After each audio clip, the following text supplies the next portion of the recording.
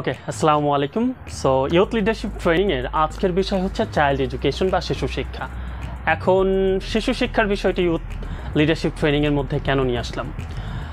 এটা নিয়ে আসলাম এই জন্য যে আমরা যারা আসলে পরবর্তী জেনারেশনকে গড়ে তুলব, তাদের উচিত এই বিষয়টি সম্পর্কে জানা। দু হাজার আঠারো সালে প্রথম যখন আমরা জার্মানির একটা অর্গানাইজেশন এবং জুম বাংলাদেশের মাধ্যমে একটা রিসার্চ করি তখন ঢাকা বারো আসনের এমপি সাহেবের সাথে আমরা বসেছিলাম। তো ওই দিনে ওই বিষয়টা ছিল শিশু শিক্ষার বিষয়ে। তো ওইটা বলার পেছনের কারণটা আমি বলছি। তো তখন বিভিন্ন বিষয়ে কথা বলতে বলতে তাৎক্ষণিকভাবে আমার মাথায় আসলো যে আমি ওনাকে একটা প্রশ্ন করি। তো আমি জিজ্ঞাসা করলাম মাননীয় এমপি সাহেব, এই যে আমরা ছোটোবেলায় বাচ্চাদেরকে অত অজগর অজগরটা আসছে তেরে, আতে আম, আমটি আমি খাব পেরে, আপনি দীর্ঘদিন ধরে শিক্ষা ব্যবস্থার স্থায়ী কমিটিতে কাজ করছেন। তো এই বিষয়টা নিয়ে আমি আসলে বোধগম্য না যে আদেও কি অত অজগর, অজগরটি আমি আসছে তেরে। মানে পড়ালেখার শুরুতেই আমি অজগর মানে হিংস্র প্রাণী দিয়ে বাচ্চাদেরকে পড়ালেখা শেখাচ্ছে। তো বড় হয়ে এরা হিংস্র হচ্ছে। আবার আতে আমটি আমি খাব পেরে? এই আমটি যে গাছ থেকে পেরে খাব, কারোর কাছ থেকে বলে নিব, না চেয়ে নিব, না চুরি করে নিব, সেটা বলা নেই। তার মানে নৈতিকতার একটা ঘাটতি আছে। তো আলটিমেটলি যে বিষয়টা বলা যায় যে আমাদের শিক্ষা ব্যবস্থার শুরুতেই যে ঘাটতি, এটা কিন্তু এটা দেখলে বোঝা যায় যে এটার পেছনে আসলে কোনো ধরনের লজিক নাই, কারণ নেই। কারণ বাইরের দেশে যদি দেখেন, তারা বাচ্চাদের নৈতিকতা, তারা বাচ্চাদের নিজেকে হচ্ছে মোরালিটি বা হচ্ছে পরিষ্কার পরিচ্ছন্নতা, খাবার দাবার অপরকে হেল্প করে, এই বিষয়গুলো নিয়ে ব্যাপকভাবে হেল্প করে। কিন্তু আমাদের শিক্ষা ব্যবস্থায় এই জিনিসগুলো নাই। ইভেন আমরা দেখা যায় ক্লাস ওয়ানে ভর্তি করছি কম্পিটিটিভ এক্সামের মাধ্যমে, যেটা বাচ্চাদের মধ্যে প্রেশার ছাড়া কিছুই নেই, কারণ এই শিক্ষা ব্যবস্থাটা হওয়া উচিত আনন্দের মাধ্যমে। তো এই জন্য এই বিষয়টা বলা যে আমাদের শিক্ষা ব্যবস্থা, বিশেষ করে শিশু শিক্ষাটা যথাযথ নাই। কারণ আপনি যদি বাচ্চাদেরকে একেবারে ছোটোবেলা থেকে তাদের মধ্যে কম্পিটিশন প্রতিযোগিতা ঢুকাই দেন, তো তার মাথার মধ্যে আসবে কি? প্রতিযোগিতা মানে কি? সবাইকে টপকে আমি ফার্স্ট হব। তো আমি যখন ফার্স্ট হব তখন আমাকে কি করতে হবে? অপরকে হিংসা করতে হবে, অপরকে টপকিয়ে যেতে হবে, তার মানে মানুষকে হিও করে দেখতে হবে। আমি যখন টপ হব ফার্স্ট হব, তখন প্রতিযোগিতার মাধ্যমে অপরকে হিও করে দেখতে হবে। জাপানে এই ধরনের কোনো কম্পিটিশন নেই এই জন্য কী হয়?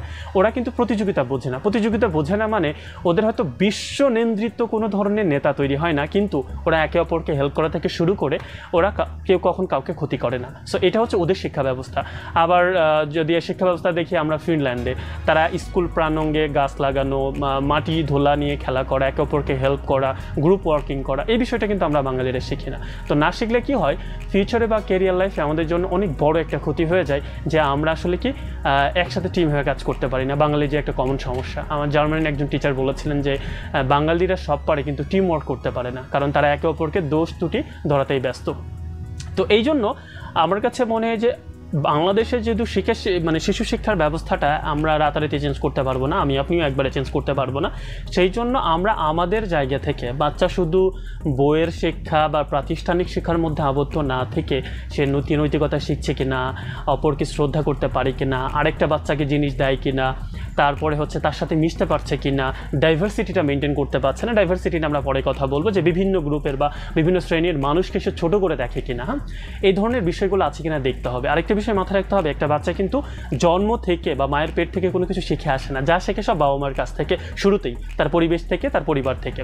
তো এই বাবা মার কাছ থেকে যেহেতু শেখে, আপনারা কখনো চিন্তা করে দেখেছেন কেন একটা বাচ্চা ভয়টা থেকে শেখে? যখন মা বা বাবা সে কিছু খায় না বা রাত্রে ঘুমায় না, তখন কি বলে? বাবা, ঘুমাও, নইলে হুলু আসবে। এই হুলু জিনিসটা কি? সে কিন্তু চেনে না।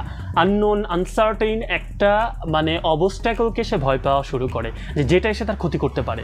তো সে ভয় পাওয়া শুরু করল। এই যে ভয়টা ভি তার ভিতরে ঢুকে গেল, তেমনি কিন্তু সে এইভাবেই ভয় পাওয়া শিখে গেল যে আমি হয়তো ওটা পারব না, কারণ তার ভিতরে ভয় ঢুকে গেছে। আবার আরেকটা বিষয়, মিথ্যা বলাটা থেকে শেখে? আপনারা খেয়াল করছেন কিনা? বাবা বাইরে নিয়ে যাবে না বাচ্চাকে, তো বাচ্চাকে কি বলছে? যে বাবা, তুমি আজকে বাসায় থাকো, আমি তোমার জন্য চকলেট নিয়ে আসব। তো ঠিক আছে, বাচ্চা শান্ত হয়ে গেল। বাচ্চা যখন বাবা যখন রাত্রে ব্যাক করল, তখন বাবা বলল, বাবা, চকলেট? তো বলল, বাবা, আমি তো নিয়ে আসিনি। অথচ আপনি বলেছেন নিয়ে আসবেন। বাচ্চা কি শিখলো এর থেকে?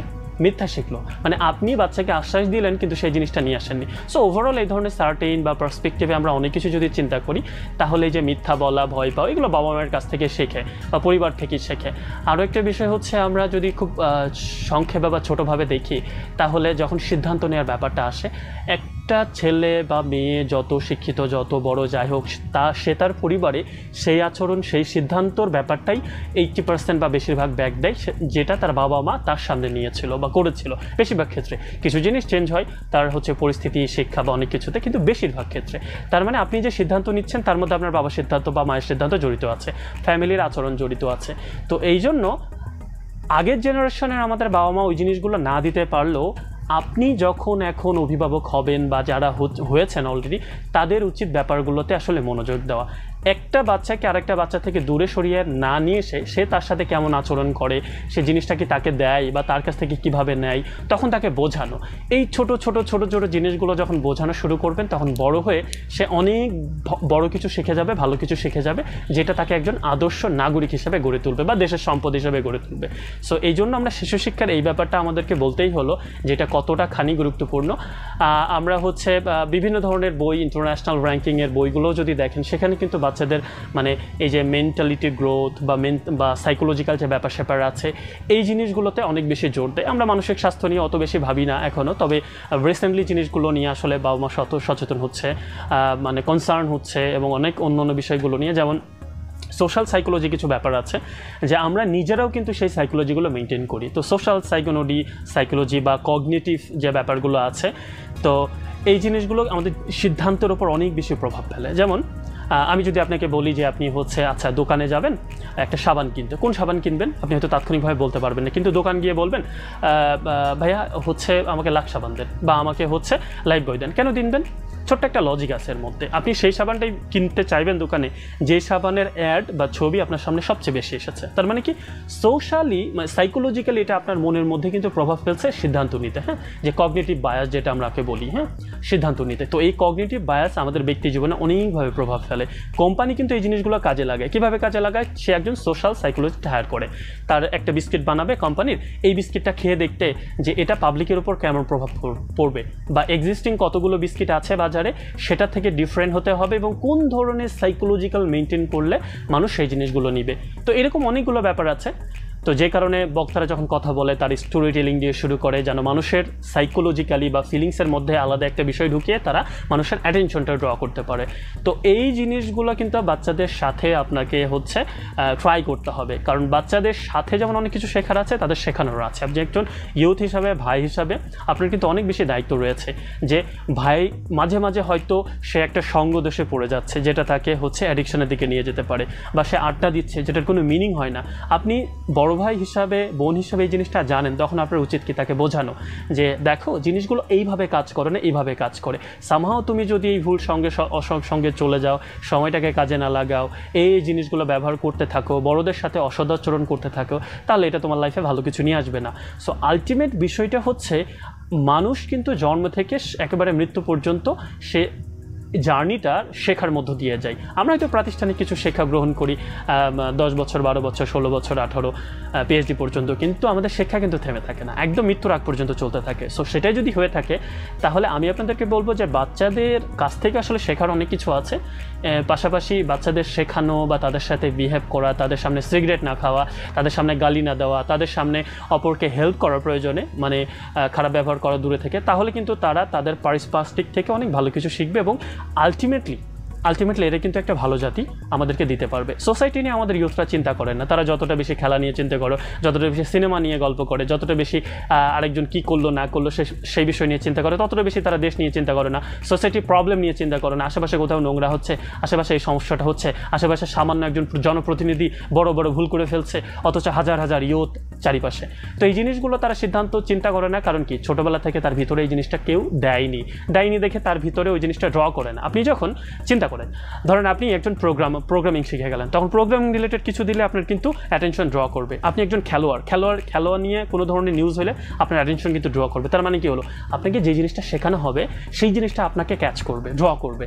তো সেই জন্যই আমরা বলি যে, আমরা যদি ইউথদেরকে আমাদের সোসাইটির উন্নতি, অবনতি বিষয়গুলো নিয়ে তাদেরকে বলতে পারি তাহলে কিন্তু এই জিনিসটা আমাদের সোসাইটির উপর একটা পজিটিভ ইম্প্যাক্ট ফেলবে। কারণ আমরা যে রাজনীতিবিদদের কথায় চলি, যারা আমাদের মাথার উপর ছুরি ঘোরায় আমরা দেখি কতটা আনস্কিল আনএডুকেটেড বেশিরভাগই নেতারা। তো এরা কেন ছড়ি ঘোরাচ্ছে? আপনার আমার দোষের কারণে, আর কিচ্ছু কারণ নেই। ইন্ডিয়াতে এই জিনিসগুলো সহজে পারে না। তারা দুই টাকা বা পঞ্চাশ পয়সা ট্রেন ভাড়া বাড়াইলে কোটি কোটি মানুষ রাস্তায় নেমে যায় ঝাড়ু আর স্যান্ডেল আমরা কিন্তু এই জিনিসগুলো পারি না। আরেকটা বিষয় হচ্ছে যে, আমরা দেখা যাচ্ছে ওই সিদ্ধান্তগুলো নিতে অপারক আমরা তাদের বিষয়গুলো মেনে নিয়েছি। এবং এই রাজনীতির যে ব্যাপারটা সেটা হচ্ছে পাঁচ বছর ওনারা থাকবেন, কিন্তু আপনি, আমি যতদিন মৃত্যু আছে ততদিনই দেশে আছি। তাহলে দেশটা আমাদের আলটিমেটলি আমাদের। যারা চালাচ্ছে তারা সাময়িকভাবে ক্ষমতা নিয়ে চালাচ্ছে। কিন্তু এর আশেপাশের সোসাইটির সমস্যা এটা, সেটা বা আমাদের পরিবারকে ঠিক রাখা ইউথদেরকে নিয়ে কাজ করা, আমার নিজের বাসাবাড়ি থেকে শুরু করে আশেপাশের সমস্যাগুলো নিয়ে চিন্তা করার দায়িত্ব কিন্তু আমাদের।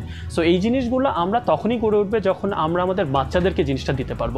আমি লাস্ট একটা গল্প দিয়ে গল্প দিয়ে এই জিনিসটা শেষ করব। সেটা হচ্ছে সিঙ্গাপুরের আমার এক বড় ভাই বলেছিলেন, উনি একটা অর্গানাইজেশনের হেড তো আমি যে, তাকে জিজ্ঞাসা করলাম, ভাইয়া, যে গত বছর, যে বছরে সিঙ্গাপুর ফার্স্ট হয় মেবি গত বছর বা তার আগের বছর গত বছরই? তো সিঙ্গাপুর যে এডুকেশনতে টপ লিস্টে ফিনল্যান্ডকে ফিনল্যান্ড ছিল ফিনল্যান্ডকে টপকে টপ লিস্টে আসলো সিঙ্গাপুর। তো এটা কীভাবে সম্ভব হলো? তো বলে যে, এটা বলার আগে তোমাকে ছোট একটা গল্প বলি যে, আমি ফার্স্টে যখন সিঙ্গাপুরে যাই, তখন জিজ্ঞাসা করি how did you got this position current year তো সে তখন জিজ্ঞাসা করে do you want to say মানে তুমি কি বলতে চাও? বলে যে, আমি বলতে চাচ্ছি যে, দেখো যে, তোমরা এই যে এডুকেশনে কীভাবে সম্ভব হলো? তোমরা একই সাথে বাংলাদেশে ওই উনিশশো একাত্তর সালে কিন্তু স্বাধীনতা লাভ করেছ। তো এত তাড়াতাড়ি কীভাবে উন্নত দেশ, উন্নত হয়ে গেলে? তো জিজ্ঞাসা করল যে, দেখো, আমরা তোমাদের থেকেও বেশি বর্বর ছিলাম। একটু খারাপভাবে বলছি সরি টু সে তো আমরা তোমাদের থেকে বেশি খারাপ ছিলাম, আমরা এখানে সেখানে পান পিক ফেলতাম, থুতু ফেলতাম, এই সেই। তো আমাদের সরকার প্রথম যখন তারা মালয়েশিয়া তাদেরকে হচ্ছে নিল না, তাদের সাথে সিঙ্গাপুর তো রিকোয়েস্ট করেছিল মালয়েশিয়াকে তাদের সাথে রাখতে। তো তখন তারা চিন্তা করল যে তারা ফিল করল যে তারা একা হয়ে যাচ্ছে। এই ভূখণ্ডটা একা হয়ে যাচ্ছে। ছোট্ট একটা দেশ, ঢাকা শহরের থেকেও ছোট। তো একা হয়ে যাচ্ছে, এখন কি করা যায়? তখন সে প্রথমে চিন্তা করল যে আমরা যদি দেশকে চিন্তা করতে চাই, তাহলে কয়েকটা কাজ করতে হবে। প্রথম কথা হচ্ছে এডুকেশন রিফর্ম করতে হবে। দ্বিতীয় বিষয় হচ্ছে আমাদের যে পোর্ট আছে, সেটা আমরা ওপেন করে দিই আমাদের ইকোনমি মানে উন্নতি করার জন্য। যেন জাহাজগুলো এসে এখানে ভিড়ে সাময়িক বিরতি নিয়ে আমাদের সামান্য কিছু ট্যাক্স ট্যাক্স দিয়ে তারা চলে যায়। তো এটা হচ্ছে তারা ওপেন একটা ব্যাপার, আরেকটা হচ্ছে তারা বিজনেস পলিসিটা অনেক বেশি ইজি করে। তো শিক্ষা ব্যবস্থার বিষয়টা আমি বলছি বিজনেস বা তার সমুদ্র বন্দর, ওইগুলো নিয়ে আমরা পরে কথা বলব। তো শিক্ষা ব্যবস্থার কথা তো তারা প্রথমে কি করল? তারা প্রথমে মিশন নিল এবং ভিশন তৈরি করল। তো ভিশনের মধ্যে ছিল চল্লিশ বছর একটা ভিশন এবং মিশন ছিল প্রথম দশ বছর। তো প্রথম দশ বছর কি? এ লেভেল থেকে ও লেভেল পর্যন্ত। তো এ লেভেলের যে ছেলেটা আজকে স্কুলে ভর্তি হচ্ছে, চিন্তা করেন, ওই স্কুলের মধ্যে টিচারের সাথে সে খায় বাথরুম পরিষ্কার করে এবং তাদের স্কুলের ভিতরে এই সময় নাকি ট্রাফিক সিগন্যাল ছিল। যে ট্রাফিক সিগন্যাল অনুসারে বাচ্চারা হাঁটাচলা করতো, যে লাল লাইট দেখলে থেমে যেত, হলুদ হলে তারা সতর্ক হতো বা তা সবুজ হলে তারা হাঁটাচলা করতো। তার মানে তারা ট্রাফিকের বিষয়টি স্কুল ভিতর থেকে শিখছে। আরেকটি বিষয় হচ্ছে যে তারা কারোর সাথে খারাপ ব্যবহার করবে না, বন্ধুদের সাথে খেলাধুলা করতে গিয়ে শিখছে, যেহেতু তারা সকাল থেকে সন্ধ্যা পর্যন্ত স্কুলে থাকছে। আরেকটি বিষয় হচ্ছে যে তারা টিচারের সাথে খাওয়া দাওয়া করছে, একই খাবার, তার মানে তাদের মধ্যে ওই শ্রেণি বিভেদটা আসছে না। বাথরুম পরিষ্কার করছে মানে তারা নিজের কাজ নিজে করতে কোনো অনিয়া তৈরি হচ্ছে না। এবং সবচেয়ে বড় কথা, তারা একে অপরকে কখনো মিথ্যা বলছে না। তো আলটিমেটলি দশ বছর পরে ওরা যদি এ লেভেল পরে চাকরিতে ঢোকে এবং এ লেভেল ও লেভেল পরে, তো চাকরিতে ঢুকছে, তো একজন সৎ, নিষ্ঠাবান ছেলে কিন্তু চাকরিতে ঢুকছে। তো আগের যারা অনৈতিক প্রশাসক বা চাকরিজীবী ছিল, ওরা মারা যাচ্ছে বা ওরা চলে যাচ্ছে, অবসর নিচ্ছে এবং এরা ঢুকছে। তো আলটিমেটলি কী হলো? দশ বছর পরে এরা চাকরিতে ঢোকা শুরু করবে, যেহেতু চল্লিশ বছরের টার্গেট এবং তিরিশ বছরে যত নাগরিক থাকবে আগের অনৈতিক, তারা তো সব মারা গেছে। এবং এরা কিন্তু আছে প্রশাসনে। এরা আছে চাকরিতে এবং এসে দেশ গড়ার ভূমিকায়। তো আলটিমেটলি যা পেয়েছি সেটাই হচ্ছে আজকে সিঙ্গাপুর। তো এইটা একটা বড় সিদ্ধান্ত ছিল তাদের। আমরা হয়তো বিভিন্ন ধরনের সিদ্ধান্ত নিচ্ছি ডিজিটাল বাংলাদেশ, এই। তো আলটিমেটলি ডিজিটালের সাথে সাথে আমাদের ডিজিটাল দুর্নীতি বা অনেক কিছু বাড়ছে। অনৈতিকতার বিষয়গুলো বাড়ছে। আমরা আরামপ্রিয় হচ্ছি। আমরা হচ্ছে দেশের চিন্তা ফেলে দিচ্ছি। আমরা বিনোদন প্রিয় হচ্ছি। আমরা খেলা প্রিয় হচ্ছি। আমরা বিজনেস কেন্দ্রিক হচ্ছি। আমরা সোশ্যাল মিডিয়া অ্যাডিক্টেড হচ্ছি। এত বেশি সময় হচ্ছে পৃথিবীর হয়তো কোনো দেশের মানুষই নষ্ট করে না। আমরা যতটা বেশি নষ্ট করি এসব জায়গাগুলোতে। এবং ইন্ডিয়ার কথাও যদি বলেন, তারা এত দূর চলে গেছে, এত দূর চলে গেছে এবং তারা ইন্টারন্যাশনাল এমনভাবে চিন্তা করে, আমরা কিন্তু এখনও সেই কোয়ার ব্যাংক হয়ে আছি। যদিও আমরা রিসেন্টলি অনেক ভালো করছি, কিন্তু বেশিরভাগের কথা বলছি আমরা। হয়তো আমরা কিছু ঢাকা সিটি বা কিছু ছেলে মেয়ে ইন্টারন্যাশনালি কম্পিট করছি, কিন্তু তারপরেও আমাদের মানে রুটের লেভেলটা তো এখন আসলে ওই জায়গায় আছে। তো এই জায়গাগুলো আসলে রিফর্ম করতে হলে, ভালো করতে হলে আমাদেরকে আসলে বাচ্চাদের শিক্ষা ব্যবস্থা, বাচ্চাদের গড়ে তোলা, সেই জায়গা থেকে রুট লেভেল থেকে এবং বড়দের যে সমস্যাগুলো আছে জেনারেশনে তাদের জন্য প্রতিনিয়ত কথা বলতে হবে। তাদেরকে বোঝাতে হবে যে আপনাদের চিন্তা বা আপনার বাপ দাদারা যেটা করে গেছে, এখন আর বিষয়টা সেরকম নাই। আপনাদেরকে একটু আপডেট হতে হবে, জিনিসগুলো নিয়ে চিন্তা করতে হবে। আপডেট হওয়া মানে নিজের আসলে মানে এই যে নিজস্বতা আছে সেটা বিসর্জন দেওয়া না। আপনাকে নতুন কোনো কিছুর সাথে আসলে খাপ খাইয়ে নেওয়া, যে আগে আপনি ফোন চালাইতেন না, এখন কি চালাচ্ছেন না? চালাচ্ছেন। তা আগে আপনার বাবা যে ভুল সিদ্ধান্তটা নিয়েছেন সেটাও কি আপনি আপনার আপনার সন্তানের উপর চাপিয়ে দিবেন? মানে এটা পসিবল না। তো সেই জন্য আমার কথা হচ্ছে, আমরা বাচ্চাদের এই বিষয়গুলো যদি সচেতন রাখি, বা যারা শুনছেন, দেখছেন, আমাদের সাথে আছে- আছেন ট্রেনিংয়ে এই বিষয়গুলো আপনারা যদি সচেতন হন, খেয়াল হন, একটু হলেও এই জিনিসটার পজিটিভ ইম্প্যাক্ট সোসাইটিতে দেশের ওপর, আপনার পরিবারের ওপর বা আপনার ব্যক্তিসত্তার ওপর পড়বে এবং তখনই পজিটিভ কিছু বিল্ড হওয়া শুরু হবে।